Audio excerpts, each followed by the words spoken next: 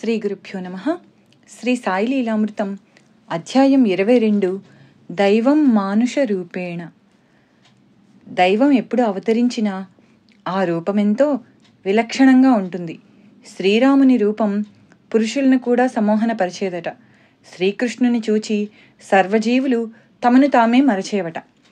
దత్తావతారమైన సాయి రూపం కూడా అలానే ఉండేదట. ఆయనను సగుణమేరు నాయక్ తన్మయుడై కన్నార్పకుండా చూస్తుంటే సాయియే పిచ్చివానిలా అలా చూస్తావేమి? అనేవారు. దేని మీద నిలవని మనస్సు సద్గురువు మీద నిలుస్తుంది. అదే ధ్యానం అంటే వారు మన మనస్సును చిత్తాన్ని అంటే ఇతర ఆలోచనలు హరిస్తారు. సాయికి తమ గురువు దగ్గర అలానే జరిగిందట. నేను ఆయన పాదాలొత్తాను. అవి చెప్పలేనంత మృదువుగా ఉన్నాయి. ఆయన ఎంతో ప్రసన్నంగా నవ్వారు. ఆ నవ్వు చూడడానికి సిరిడిలో ఎన్ని సంవత్సరాలైనా వేచి ఉండవచ్చు. నేను పరవశించి పిచ్చివానిలా కన్నార్పకుండా చూస్తుండిపోయాను. ఆయన ఈరోజు భక్తులందరిపైన యోగ దృష్టి సారించారు. రోజంతా చెప్పలేని పారవస్యంతో గడిచిపోయింది అని కాపర్దే తన డైరీలో వ్రాసుకున్నాడు. బాబాలో వర్ణించనలవిగాని ఆకర్షణ ఉండేది. ఆయన చర్యలు ముఖ వర్చస్సు చూస్తేనే ఆయన బ్రహ్మజ్ఞాని అని తెలిసిపోతుండేది అంటాడు నృపతి పాటిల్. శ్రీ సాయిని దర్శించినప్పటి తన అనుభవం హేమత్ పంత్ ఇలా వ్రాశాడు. నేను షిరిడీలో దిగేటప్పటికీ తాత్యా సాహెబ్ నూల్కర్ మసీదు నుండి తిరిగి వచ్చి త్వరగా పద. భక్తులతో కలిసి బాబా వాడా మలుపు వద్దకు వచ్చారు. ఆయన లెండీకి వెళ్ళకముందే పాద నమస్కారం చేసుకుందాం అన్నాడు. నేను త్వరగా బాబా ఉన్న చోటుకు వెళ్ళి ఆ మట్టిలోనే వారి పాదాలకు సాష్టాంగ నమస్కారం చేశాను. అప్పటి నా సంతోషానికి అవధులు లేవు. నానాసాహెబ్ చెప్పిన దానికంటే కూడా వారిలో ఎంతో ఎక్కువ గొప్పతనం కనిపించింది. వారి దర్శనమైనందుకు నా జన్మ ధన్యమైనదనిపించింది. వారిని చూస్తూనే నా కన్నులు చెమ్మగిల్లాయి. ఆకలి దప్పులు అదృశ్యమయ్యాయి. నా జ్ఞానేంద్రియాలు స్థిరంగా నిలబడిపోయాయి. సాయి పాదాలు తాకిన మీదట నాకు కలిగిన అనుభూతి నా జీవితమంతటిలోకి మహాభాగ్యం. అప్పటి నుండి నాకు కొత్త జీవితం ఆరంభమైంది. నా మనస్సులోని సందేహాలన్నీ నశించాయి. అవధులు లేని ఆనందం కట్టలు తెంచుకున్నది.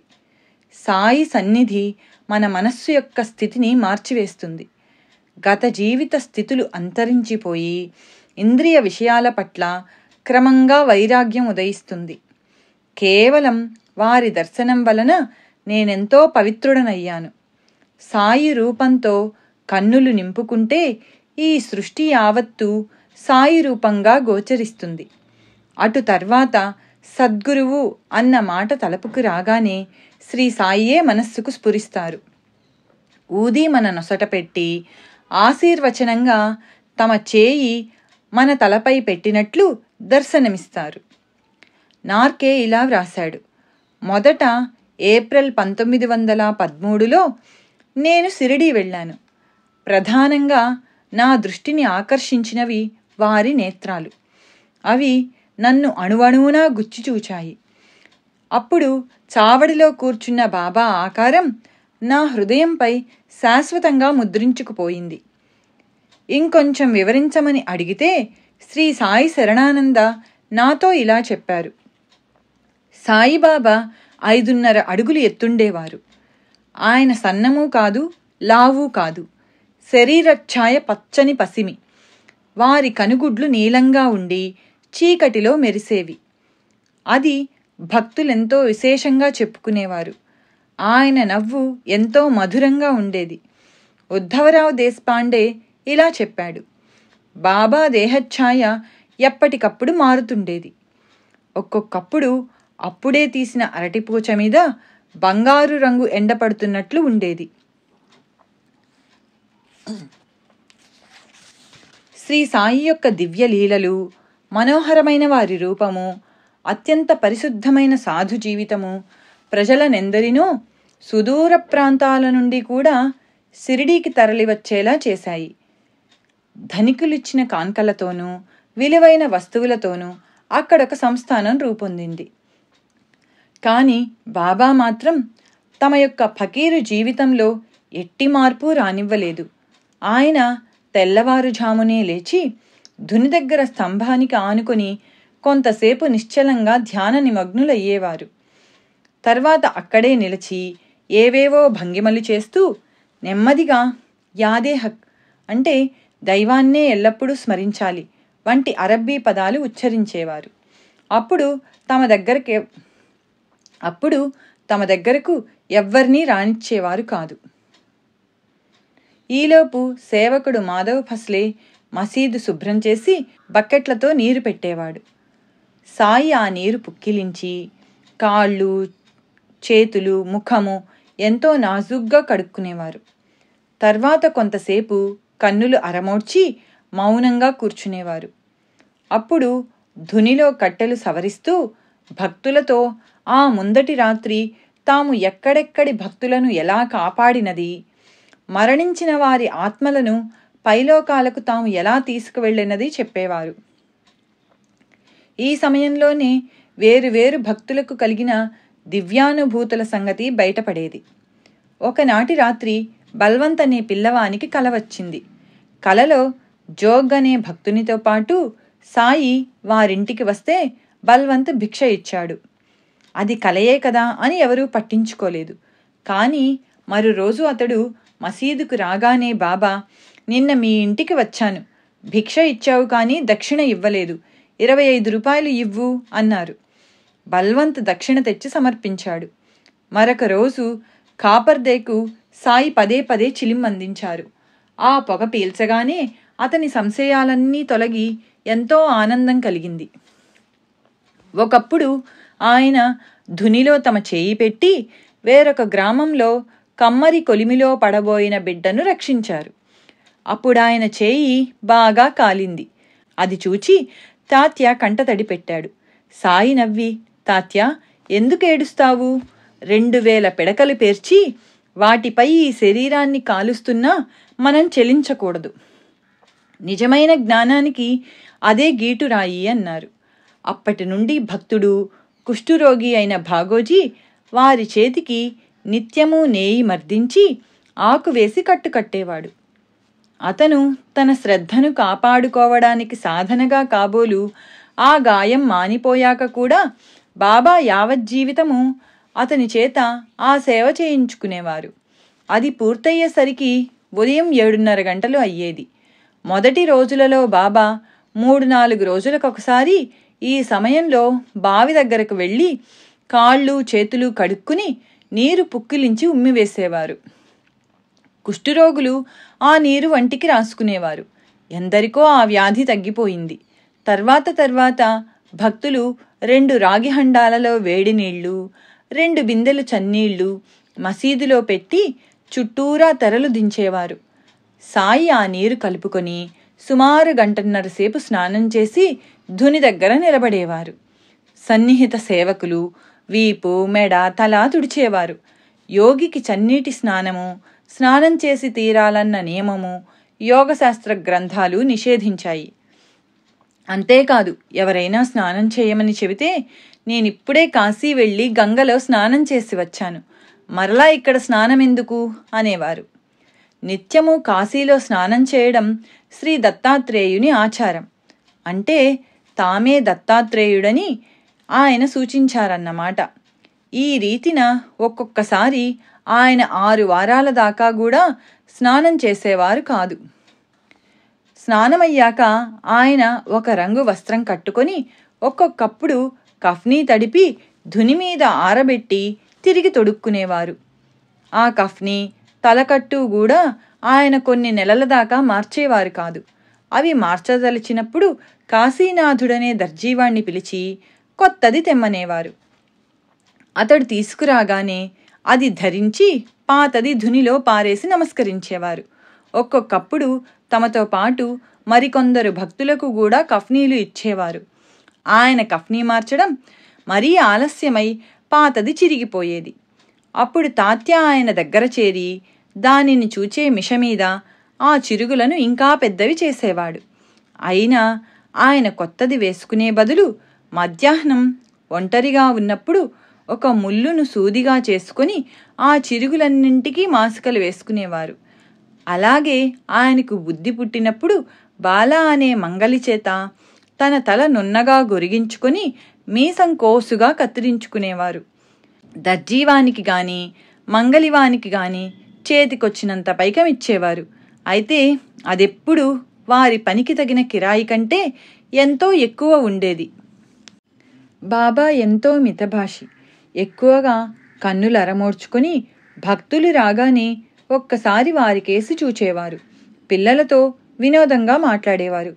పసిపిల్లలను ఎత్తుకొని పలకరించేవారు. ఒకసారి పక్క గ్రామం నుండి తరచూ సిరిడి వచ్చే పిలాజీ గురవ్ తన పది సంవత్సరాల కొడుకు తనతో వస్తానని మారం చేస్తే వాణ్ణి కొట్టాడు. గురవ్ సిరిడి చేరగానే బాబా కోపంగా ఆ చిన్న విధవను కొడితే ఊరుకోను. వాడు నీతో కూడా వస్తే నీదేం పోతుంది? ఈసారి వాణ్ణి కూడా తీసుకువస్తుండు అన్నారు. అప్పటి నుండి అతడు అలానే చేసేవాడు. సుమారు తొమ్మిది గంటల ప్రాంతంలో బాబా ఎడమ భుజానికి నాలుగు మడతలు వేసిన గుడ్డను జోలగా కట్టుకొని కుడి చేతిలో రేకుడబ్బా తీసుకుని నిత్యము ఆ ఐదు ఇళ్ళ వద్ద మాత్రమే భిక్ష తీసుకొచ్చేవారు. ద్రవాహారాలు డబ్బాలోనూ రొట్టెల వంటి ఘనపదార్థాలు జోలెలోనూ వేయించుకునేవారు. ఆ ఐదు ఇళ్ళలో బయాజాబాయి ఇల్లు ఒకటి. బాబా కేక వేయగానే ఆ తల్లి పనులన్నీ ఆపివేసి ఆయనను ఆహ్వానించి ఆయన ఎదుటనే కూర్చునేది. అప్పుడు ఏడు ఎనిమిది సంవత్సరాల వయసు గల ఆమె కొడుకు తాత్య ఆయన భుజాలపైన ఎక్కడమో ఆయన వడిలో పొర్లడమో చేసేవాడు. ఆమె అతనిని కసిరినా ఆమె ముఖంలో ఏమాత్రం చికాకు వ్యక్తమైనా బాబా ఎందుకమ్మా వాణ్ణి కోప్పడతావు? వాడి ఇష్టం వచ్చినట్లు చేయనివ్వు అనేవారు. ఇలా భిక్ష తీసుకొని మసీదుకు చేరగానే బాబా ఒక రొట్టె కొద్ది అన్నము ధునికి ఆహుతిగా వేసి మిగిలినవన్నీ ఒక మట్టి బొచ్చలో మూత పెట్టకుండా ఉంచేవారు. మొదటి రోజుల్లో కుక్కలు పిల్లులు బిచ్చగాళ్ళు సేవకులు దాని నుండి తమకు కావలసినంత తీసుకునేవారు. ఆయన ఏ ప్రాణిని అసహ్యించుకొని వెళ్ళగొట్టేవారు కాదు. చివరకు మిగిలినవన్నీ రుచి విచక్షణ లేకుండా కలిపి కొద్ది ముద్దలు మాత్రం తినేవారు. హిందూ ధర్మం ప్రకారం బాబా నైష్టిక బ్రహ్మచారి. అందుకే తమ గురువు దేహంతో ఉన్నంతకాలం వారి చెంతనే ఉండి సేవ చేశారు. వారు పరమపదించాక వారి ప్రతిరూపంగా నిరతాగ్నిహోత్రం నిర్వహించారు. ఎల్లప్పుడూ తెల్లని ముతక గుడ్డలు ధరించేవారు. లెండీకి వెళ్ళేటప్పుడు తప్ప మరెప్పుడూ పాదరక్షలు వేసుకునేవారు కాదు. పగలెన్నడూ వెన్నువాల్చక గోడకు కూడా జానెడు దూరంలో కూర్చునేవారు. పండ్లు తోముకోకుండా నీళ్ళు మాత్రం పుక్కిలించేవారు. భిక్షాన్నం మాత్రమే తినేవారు. ఆంతరంగికంగా మాత్రం సర్వము భగవంతుని రూపంగా. అంటే వాసుదేవ సర్వమితి అని భగవద్గీత చెప్పినట్లు చూచే అరుదైన మహాత్ముడు సాయి. స మహాత్మ సుదుర్లభ. అందుకే ఆయన ఏ ప్రాణిని అసహించుకోలేదు. ఆయన ఆదర్శ భిక్షువు. ఎవరినీ భిక్ష కోసం పీడించలేదు. బాబా సిరిడీ చేరిన రెండు సంవత్సరాలకు ఆ ప్రాంతంలో కరువు వచ్చింది. అప్పుడు ధనికులైన నందు తాత్యాల ఇండ్ల వద్ద మాత్రమే ఒక్కొక్క ఇంటి నుండి సగం రొట్టె మాత్రమే తీసుకునేవారు సాయి. భిక్షకు వెళ్ళి వచ్చాక తొమ్మిది గంటల ప్రాంతంలో బాబా పాదరక్షలు ధరించి లెండీకి వెళ్ళి వచ్చేవారు. భక్తులు దారి పొడుగున ఆయనకు గొడుగు పట్టేవారు. అప్పుడు తీసిన ఫోటోలో ఆయనకు ఎడమవైపున బూటి కుడివైపున నిమోన్కర్ గొడుగు పట్టుకొని భాగోజీ ఉన్నారు. వీరందరినీ లెండీతోపు బయట విడిచి అబ్దుల్లాతో కలిసి లెండీలో కొంతసేపు గడిపి వచ్చేవారు. సుమారు పదున్నర గంటల ప్రాంతంలో ఆయన మసీదు చేరాక గాయకులు నర్తకీ నర్తకులు గారడీవారు ఆయన ముందు తమ కళలను ప్రదర్శించేవారు. లేకుంటే మధ్యాహ్నం దాకా ఆయన భక్తులతో మాట్లాడుతూ ఎన్నెన్నో కథలు చెప్పేవారు. ఒకరోజు భక్తులు ఆయనను పూజిస్తుండగా నానావల్లి వచ్చి లే ఆసనం మీద నేను కూర్చోవాలి అని గర్జించాడు. సాయి ఎంతో నిర్లిప్తంగా లేచారు. ఆ స్థానంలో అతడు కూర్చొని మరుక్షణమే లేచి బాబాకు నమస్కరించి వెళ్ళిపోయాడు. మరొకప్పుడు హరిద్వార్భువా అనే సాధువు రోజు మసీదులో ఒకే చోట కూర్చునేవాడు. ఒకరోజు చిన్నపిల్ల ముందుగా వచ్చి అక్కడ కూర్చున్నది. ఆ సాధువు ఆ పాపను కసిరి అక్కడ నుండి లేపేసి అక్కడ కూర్చున్నాడు. వెంటనే బాబా ఉగ్రులై మసీదు నుండి అందరినీ వెళ్ళగొట్టేశారు. కొద్దిసేపట్లో ఆ సాధువు మళ్ళీ అక్కడ కూర్చోబోతే సాయి అతన్ని మరలా వెళ్ళగొట్టారు. సృష్టిలో సర్వానికి యజమాని భగవంతుడే అయితే రోజు కొద్దిసేపు కూర్చున్నంత మాత్రాన ఏ ప్రదేశమైనా ఆ సాధువుది గాని లేక తమది గాని ఎలా అవుతుంది అని పై రెండు సందర్భాల్లోని బాబా భావం కొందరు భక్తులు తమ భోజనంలో మొదట కొంత బాబాకు అర్పించేవారు. ఆయన అందులో కొంచెం భక్తులకు పంచి పళ్ళెంలో కొంచెం ఉంచి తిరిగి ఇచ్చేవారు. తర్వాత ఆయన కూడా భక్తుల పంక్తిలో భోజనం చేసేవారు. ఆయనకు కుడిపక్కన తాత్య రామచంద్ర పాటిల్ బయాజీ పాటిల్ ఎడమవైపు బడే బాబా శ్యామ బూటి కాకా దీక్షితులు కూర్చోగానే చుట్టూ తెరలు దించేవారు. ఆ తర్వాత అందులో ఎవరూ ప్రవేశించేవారు కాదు. తరచుగా ఆ పంక్తిలో భాగోజీ మాధవ్ ఫస్లే నిమోన్కర్లు కూడా కూర్చునేవారు. శ్యామాకు మాత్రం అతడి ఆచారం ప్రకారం పాయసం ఒక్కటే వడ్డించేవారు బాబా. వేసవి కాలంలో బాబా రోజూ ఒక మామిడి పండు స్వల్పంగా రుచి చూచి భక్తులందరికీ పంచేవారు. తర్వాత సేరు పాలు సేరు రొట్టెలు సేరు చక్కెర గిన్నెలో పిసికి ప్రసాదంగా పంచేవారు. అప్పుడు ఆయనే అందరి పళ్ళాలు వంటకాలతో నింపేవారు. భక్తులు భోజనానికి తమ బిడ్డలను కూడా తీసుకుని వచ్చినప్పుడు మొదట వారికి ఇష్టమైనవి పెట్టాకనే భోజనం వడ్డించేవారు. ఒకసారి అందరూ భోజనం చేస్తుండగా శిథిలమైన మసీదు కప్పు నుండి పెటపెటమని శబ్దమైంది. వెంటనే సాయి చేయి పైకెత్తి ఆగు ఆగు అన్నారు. ఆ శబ్దం ఆగిపోయింది.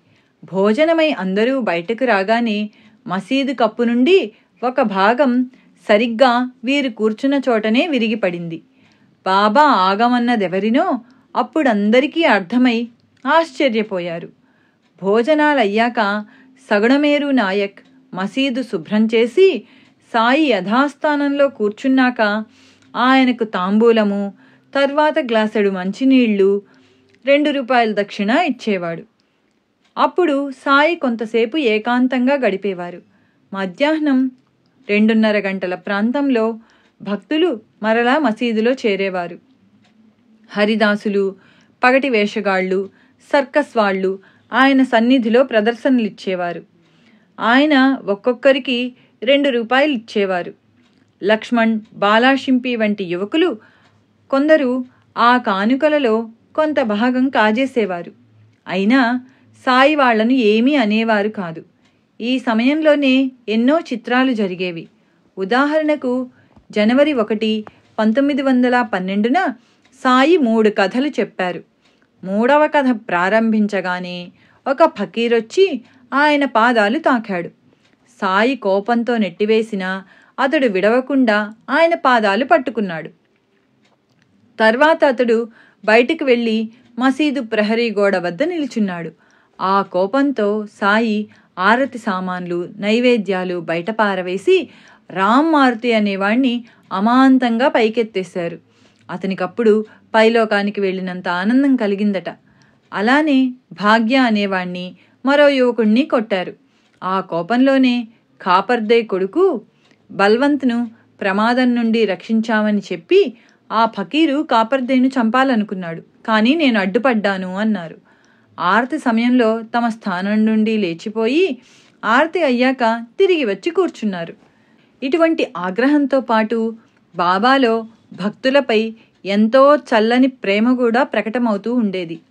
తరచూ ఆయనే పండ్లు కొని ముక్కలు చేసి భక్తులకు పంచేవారు. అరటి పండ్లు ఒలిచి గుజ్జు భక్తులకిచ్చి తొక్కు తాముంచుకునేవారు. మామిడి పండ్లను ఎంతో నేర్పుగా అన్ని వైపులా నొక్కి భక్తులకిచ్చేవారు. రసమంతా సులభంగా నోట్లోకొచ్చి తొక్కు టెంక పారవేయడానికి వీలుగా ఉండేవి. సుఖ సౌఖ్యాలు భక్తులకిచ్చి వారి దుఃఖం తాము స్వీకరిస్తామని వారికి మాయను తొలగించి దివ్యానుభవం సులభమయ్యేలా చేస్తామని ఈ చర్యలలోని వారి భావమై ఉండవచ్చు. ఒక్కొక్కప్పుడు అదేమి చిత్రమో గాని ఆయన కథలు వినిన భక్తులందరూ కూడా ఆ కథలను పూర్తిగా మర్చిపోయేవారు. ఒకరోజు ఆయన గత జన్మలలో ఆయన బాపు సాహెబ్ జోగ్ దాదా కేల్కర్ శ్యామ కాపర్దే దీక్షితులు ఒక చిన్న వీధిలో తమ గురువుతో కలిసి ఉండేవారట. అందువల్లనే తామీ జన్మలో అందర్నీ మళ్ళీ కలుపుతున్నామని బాబా చెప్పారు. సాయంత్రం బాబా మసీదు ప్రాంగణంలో కొద్దిసేపు పచార్లు చేసి ప్రహరీని ఆనుకొని నిలచి వీధిన పోయే జనంతో ఏమేమో మాట్లాడేవారు. ఉదాహరణకు పది పాములు వెళ్ళిపోయాయి కానీ చాలా వస్తాయి. ఇక్కడకు జనం చీమల పుట్టల్లా చేరుతారు. వాణి తేలి నన్నెంతో బాధిస్తున్నారు.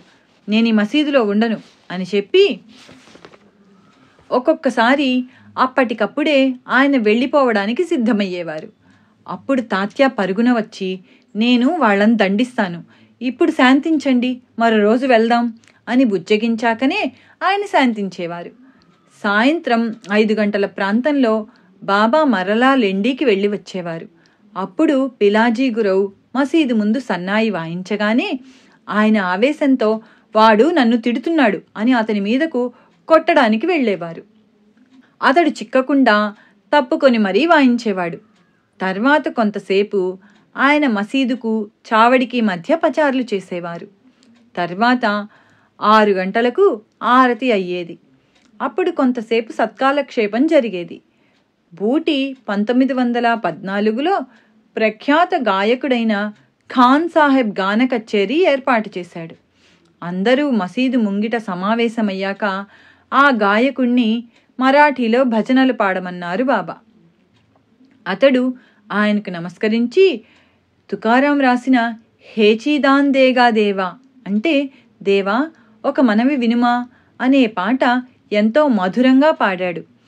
సాయి మంత్రముగ్ధులైనట్టు కన్నులు మూసుకొని శ్రద్ధగా విని ఎంత చక్కగా పాడావు? ప్రసాదించకుండటం సాధ్యపడని దాన్నే కోరాడు తుకారాం అన్నారు. ఆ తరువాత బాబా ఆ రోజు భక్తులు సమర్పించిన దక్షిణంతా అందరికీ పనిచేసేవారు ఆయన లెక్క పెట్టకుండా జేబులో చెయ్యి పెట్టి చేతికొచ్చినంత ఇచ్చివేస్తున్నా ప్రతి భక్తునికి ఎప్పుడూ ఒకే మొత్తం ముట్టేది. ఇలా నిత్యము బడే బాబాకు యాభై రూపాయలు తాత్యాకు ముప్పై ఐదు రూపాయల నుండి బాగోజీకి నాలుగు రూపాయల వరకు ముట్టేది. క్రొత్తవారికి ఎంత అవసరమో అంతే ముట్టేది. శ్రీరామనవమి వంటి ఉత్సవాలలో దాదా కేల్కర్కు బడే బాబాకు రెండు నోట్ల కట్టలు పేదలకు పంచమని బాబా ఇచ్చేవారు. అలా ఆయన పంచే దక్షిణ రోజుకు ఐదు వందల దాకా ఉండడంతో బ్రిటిష్ ప్రభుత్వం పన్ను వేయదలిచింది.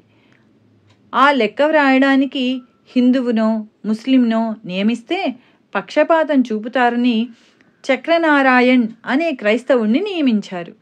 ఆయన వైరాగ్యాన్ని గమనించి చివరకు అతడు కూడా భక్తుడయ్యాడు. ఇలా తనకున్నదంతా సర్వులకు ఇచ్చివేసి తను వారి ప్రేమపై జీవించే భిక్షువుగా మాత్రమే ఉండగలవాడు నిజానికి భగవంతుడే త్రిమూర్తి స్వరూపుడైన దత్తాత్రేయుడే. ఆయన కృతవీర్యుని కుమారుడైన అర్జునునికి సామ్రాజ్యమిచ్చి తాను సాధువుగానే ఉండిపోయాడు. ఆయన యొక్క అవతారమైన శ్రీ నృసింహ సరస్వతి కూడా ఒక రజకునికి మరు జన్మలో రాజ్యమిచ్చి తాను యతిగా ఉండిపోయారు. మూడవ దత్తావతారమైన మాణిక్య ప్రభువు భారీ ఎత్తున దాన ధర్మాలు చేస్తూ కూడా ఫకీరులాగానే జీవించారు. నాల్గవ అవతారమైన అక్కల్కోట స్వామి పాదసేవ కోసం నాటి రాజులు పోటీ పడుతుంటే ఆయన మాత్రం ఒక మఠమైనా లేని అవధూతగానే జీవించారు. శ్రీ సాయి కూడా ఇటువంటి మహారాజే. శిథిలమైన మసీదే ఆయనకు రాజభవనం. ధునిలోని విభూదియే ఆయన యొక్క ధనం. చినిగి ఉన్న కఫ్నీయే చీనాంబరం. సట్కాయే ఆయన రాజదండం. తల చుట్టూ రుమాలే వారికున్న రత్న కిరీటం భిక్షగాళ్ళే వారి కొలువులోని వారు. ఆయన వద్ద ఎప్పుడూ ఉండే ఇటుకరాయి గోనె పట్టాలే వారికి దిండు పట్టుపరుపులు.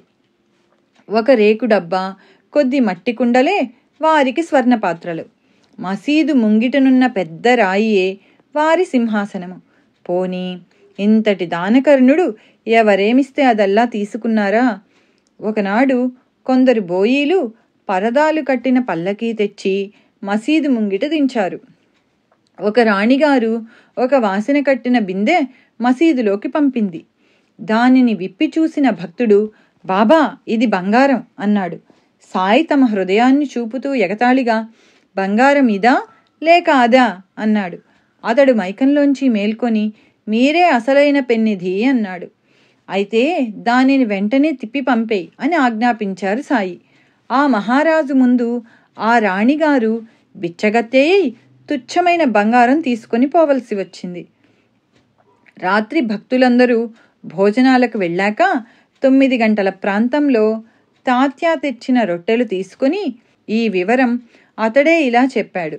రోజూ రాత్రి పాలు బెల్లంతో పాటు రొట్టెలు కానీ సంగటి ముద్ద కానీ తీసుకువెళ్ళి బాబా ముందు ఉంచేవాణ్ణి ఆయన కొంచెం తిని కొంచెం నా నోట్లో పెట్టి ఆ పాత్ర దూరంగా పెట్టగానే దానిని కోండ్యా ప్రసాదంగా తీసుకునేవాడు.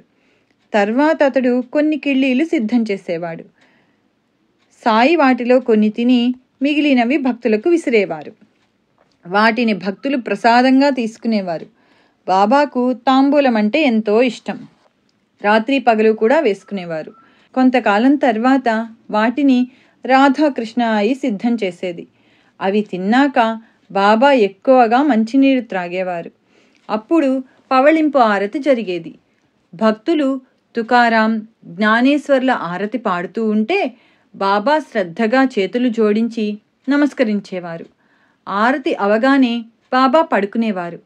మొదటి రోజుల్లో ఆయన ఎప్పుడూ ఒకే గోనెపట్ట పడకగా వేసుకునేవారు. పగలు దానిపైనే కూర్చునేవారు. కొంతకాలానికి భక్తులు సమర్పించిన దుప్పట్లు ఒకదానిపైనొకటి తామే పరుచుకొని పడుకునేవారు. కానీ క్రమంగా ఆ సేవ భక్తులే చేయసాగారు. ఎంత చిన్న మడత వచ్చినా వాళ్ళు దుప్పట్లన్నీ తీసి సరిగ్గా వేయవలసిందే.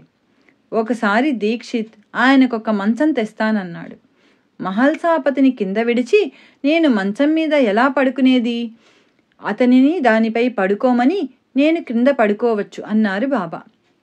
అతడు వారిద్దరికీ చెక్క పలకలు ఇస్తానన్నాడు. కానీ బాబా అంగీకరించలేదు. వారికి దోమల బాధ నివారించాలని దోమతెర కడదామంటే ఆయన ఒప్పుకోలేదు.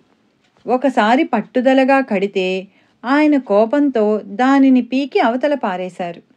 ఇలానే తీవ్రమైన వేసవిలో ఆయనకు చల్లదనం ఇవ్వాలని భక్తులు మసీదు ముంగిలి నీటితో తడిపేవారు. కానీ సాయి ధునిలో ఎక్కువ కట్టెలు వేసి వేడిమి పెంచి దాని దగ్గర కూర్చునేవారు. అలాగే చలికాలంలో ఆయనకు మంచు సోకకుండా మసీదు ముందు భాగానికి రాత్రి సమయంలో భక్తులు దట్టమైన గుడ్డ వేలాడదీసేవారు. అది చూచి ఆయన ఎగతాళిగా అవునవును మీరంతా నన్నిలా కాపాడకపోతే ఏమైపోతాను? అని వెంటనే గంభీరంగా మీరు నన్నేమి కాపాడగలరు? నేనే మీ అందరినీ కాపాడుతాను అనేవారు. మసీదులో బాబాతో పాటు తాత్య మహల్సాపతి కూడా ఉండేవారు. మహల్సాపతి ఆయన పాదాలొత్తేవాడు. అతనికి నిద్ర తూగితే ఆయన తట్టి లేపేవారు. అతనిని రాత్రి లఘుశంకకు కూడా బయటకు పోనివ్వక మసీదు నుండి దిగితే చచ్చిపోతావు జాగ్రత్త అనేవారు. ఈ ముగ్గురు వారి తలలు తూర్పు పడమర ఉత్తర దిక్కులకు పెట్టుకొని మసీదు మధ్యలో పాదాలు కలిసేలా పడుకొని ఎంతోసేపు మాట్లాడుకునేవారు. వారిలో ఎవరికి నిద్ర తూగినా రెండవ వారితో కలిసి సాయి అతనిని అటూ ఇటూ ఊపి అతని తల వీపు కాళ్ళు నొక్కి నిద్ర లేపేవారు ఇలా పద్నాలుగు సంవత్సరాల పాటు తాత్యా మసీదులోనే నిద్రించాడు. అతను తండ్రి మరణించాక మాత్రమే ఇంట్లో పడుకునేవాడు. అతడు ఈ విషయం గురించి ఇలా చెప్పాడు. నేను మహల్సాపతి బాబా మసీదులో పడుకునేవాళ్ళం. అప్పుడు రాత్రి తొమ్మిదిన్నర గంటలు అయ్యేది కొద్దిసేపటికి మహల్సాపతి లేచి ప్రమిదలలో నూనె నింపి వత్తులు సవరించి బాబా రొట్టెలు పెట్టుకునే కుండ మీద మూత పెట్టి ధునిలో కట్టెలు వేసేవాడు. నేను పగలంతా కష్టం చేయడం వలన నా ఒళ్ళు నొప్పులుగా ఉంటుందని గమనించి నాకు నిద్ర పట్టాక మహల్సాపతితో కలిసి నా ఒళ్ళు కాళ్ళు చేతులు పిసికేవారు. నాకదెంతో బాధనిపించేది. అలా చేస్తే నేను మసీదుకే రానని బెదిరించి ఒకసారి నేను పది పన్నెండు రోజులు వెళ్ళనే లేదు. బాబా బాధపడి దూరాన వెడుతున్న నన్ను కేక వేసేవారు. ఆయనతో నాకెట్టి సంబంధమూ లేదని సైగలతో తెలిపి వెళ్ళిపోయేవాణ్ణి. పయాజామామి కొడుకును కనుక ఆయనకు నాపై ఎంతో ప్రేమని నచ్చజెప్పి కాకా సాహెబ్ నన్ను మసీదుకు తీసుకువచ్చేవాడు. ముందటి అధ్యాయాలలో మనం గమనించినట్లు మహాద్భుతమైన శక్తి ఈ అధ్యాయంలో గమనించినట్లు సాటిలేని వైరాగ్యము గల సాయి కేవలం ఒక సామాన్య మానవునిలా అంతకంటే కూడా అసమానమైన వినమ్రతలతో ప్రవర్తించేవారు. కొన్ని సమయాలలో మహల్సాపతి తాత్యా వంటి భక్తులతో చెలగాటమాడేవారు. తాత్యా తలపాగా దాచేసి అతడు వెతుక్కుంటుంటే వినోదించేవారు. ఒక్కొక్కప్పుడు దానిని తామే ధరించి అతని నడక చక్కగా అనుకరించేవారు. తాత్యా కూడా సాయిని ప్రేమగా మామా అని పిలిచేవాడు. వారిద్దరూ నిజంగా మామా మేనల్లునిలా మసలు కొనేవారని ప్రధాన్ రాశాడు. అలానే మసీదులో ఆ ఇద్దరే ఉన్నప్పుడు బాబా మహల్సాపతి కాళ్ళు పిసికి అతను వారిస్తే పర్వాలేదులే మనిద్దరం ఒకటే. అందరూ నన్ను గొప్పవాడనుకుంటారు కానీ అది నిజం కాదు. నేను నీలాంటి వాడినే అనేవారు. తాత్య కూడా ఇలా చెప్పాడు. ఒకనాడు బాబా అకస్మాత్తుగా నా పాదాలు తాకారు. నాకెంతో బాధ అనిపించి మీరిలా చేయవచ్చా? అన్నాను. నోర్ముయ్ మీకేం తెలుసు? అని చేతులు విడిపించుకొని మరలా నా పాదాలు తాకి నమస్కరించి జయదేవా జయదేవా అన్నారు. ఇటువంటి చనువు వల్లనే సన్నిహిత భక్తులు అప్పుడప్పుడు ఆయన మాటలకు ఇవ్వవలసిన విలువ ఇవ్వలేక కష్టాలకు గురి అవుతుండేవారు. ఒకరోజు తాత్య బాబా శివరాత్రికి టాంగాలో జజూరి వెళ్ళి వస్తాను. అన్నాడు. బాబా ఎందుకంత బాధ? అన్నారు. అతడు నీవెప్పుడూ ఇంతే అడ్డుపుల్ల వేస్తావు అన్నాడు. సాయి చికాకుగా సరే పో అన్నారు. అతడు బయలుదేరిన కొద్దిసేపట్లో టాంగా బోల్తా కొట్టింది. అతడు గాయాలు తుడుచుకుంటూ మసీదుకు చేరగానే సాయి అతనిని చూచి నవ్వి చెబితే బుద్ధి ఉండక్కర్లా అడగడమెందుకు వద్దంటే వెళ్ళడమెందుకు? అన్నారు. అలానే బాలాభాటే కూతురు సాయిబాయి కోసం కాకా దీక్షిత్ మంచి పెండ్లి సంబంధం తీసుకొచ్చాడు. బాబాతో చెప్పగానే ఆయన అంతకంటే ఆమెను అప్ప అనే వంటవాడికి ఇవ్వడం మేలు అన్నారు. సమయం చూచుకొని అతడు మరలా ఆ ప్రస్తావన తేగానే ఆయన చికాకుగా వాడికే ఇచ్చి చేసుకోపో ఏడ్చుకో అన్నారు. తీరా వివాహం జరిపించాక ఆరు మాసాలలో ఆ యువకుడు మరణించాడు. ఆ వార్త వినగానే భక్తులతో బాబా ప్రతివాడు బాబా నీకు తెలియనిదేమున్నది? అంటాడే గాని చెప్పినట్లు విని చచ్చేవాడు ఎవ్వడూ లేడు అన్నారు. ఎన్నిసార్లు ఆయన చరిత్ర చదివినా మనం మాత్రం చేసేదేమిటి? బాబా వైఖర్లో వేదాంతము చమత్కారము మేళవించి ఉండేవి. ఒక గృహిణి తన భర్త ఇల్లు విడిచిపోయి మూడు సంవత్సరాలైందని కన్నీటితో చెప్పుకుంది. ఆయన నా భర్త ఎప్పుడూ నాతో ఉంటూ కూడా ఒక్కసారైనా పలకడు ముఖం చూపించడు. నేనేమి చేసేది? అని పెద్దగా సోకించారు ఆమె విస్తుబోయింది కానీ ఆమెకి ఏమీ అర్థం కాలేదు. కొద్ది కాలానికి ఆమె భర్త తిరిగి వచ్చాడు. కానీ ఆమెతో మాట్లాడనే లేదు. ఆమె ముఖం కూడా చూడలేదు. ఆ బాధకామే అతడు ఇల్లు విడిచిన రోజులే మేలనుకున్నది. క్రమంగా అతడు ప్రతి చిన్నదానికి ఆమెను తిడుతూ కొడుతూ ఉండేవాడు. అప్పుడు ఆమె అతడు మౌనంగా ఉన్న రోజులే మేలనుకున్నది. కొంతకాలానికి అతడు చనిపోయాడు. ఆ తర్వాత ఆమె వేదాంత శ్రవణం చేస్తుంటే బాబా మాటలు అర్థమయ్యాయి. పరమాత్మే అసలైన భర్త. ఎప్పుడూ కూడా ఉంటున్నా కనిపించడు మాట్లాడడు. మానవులు పాటుపడవలసినది నిజానికి ఆయనొక్కడి కోసమే. శ్రీ సచ్చిదానంద సమర్థ సద్గురు సాయినాథ్ మహారాజ్ కీ జై. అవధూత భరద్వాజ మహారాజ్ కీ జై. హరి ఓం గురుదేవదత్త శ్రీ సాయిలీలామృతం అధ్యాయం ఇరవై రెండు దైవం మానుష రూపేణ సంపూర్ణం.